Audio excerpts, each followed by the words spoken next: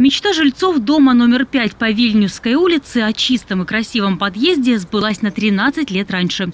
Ремонт был запланирован на 2034 год. Но поскольку в доме уже завершены основные внутренние работы с канализацией, водоснабжением, электрикой и кровлей, приняли решение сейчас же привести в порядок и подъезд. И дом попал в областную программу. Отремонтировали хорошо. Сейчас в подъезд можно зайти, можно как-то и хочется и мыть, и чистить его, и поддерживать чистоту.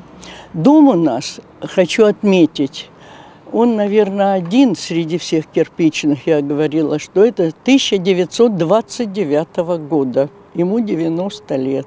Этот дом – памятник архитектуры эпохи социализма. Лестницы и ступени почистили, покрасили, преобразился вход в подвал. Время работ и объем финансирования зависят, понятно, от этажности. На ремонт в этой трехэтажке было выделено 270 тысяч рублей.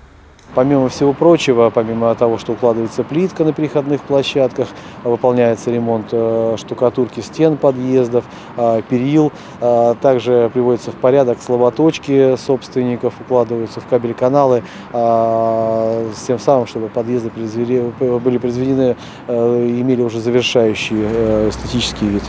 Эстетически завершенный вид теперь и у 45-го дома Намечникова. Он тоже попал в региональную программу ремонта подъездов. Цвет стен выбирали сами жильцы. Подрядчик выставил на первом этаже палитру на выбор.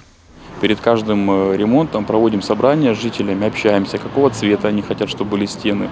Э, даже вплоть до того, что какие виды работ для них в приоритете.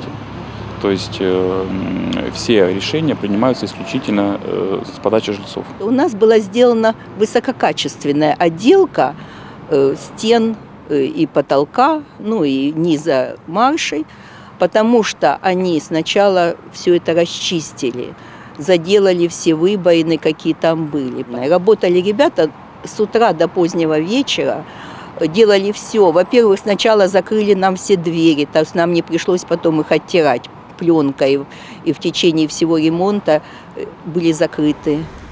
В фонде капитального ремонта надеются, что программа ремонта подъездов продлится в следующем году. Алина Николаева, Тагир Фатахов, Первый Ростовский.